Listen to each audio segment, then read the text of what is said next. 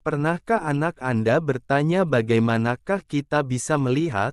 Bagaimanakah Allah membuat mata kita bisa bekerja? Pertanyaan ini yang berhasil dijawab oleh Ibnu Al-Haytham.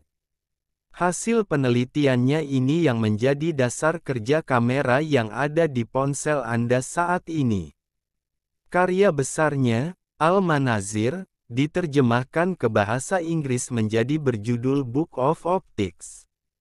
Ia sangat memengaruhi pola pikir ilmuwan-ilmuwan barat seperti Roger Bacon, Leonardo da Vinci, dan Kepler. Penemuannya adalah camera obscura.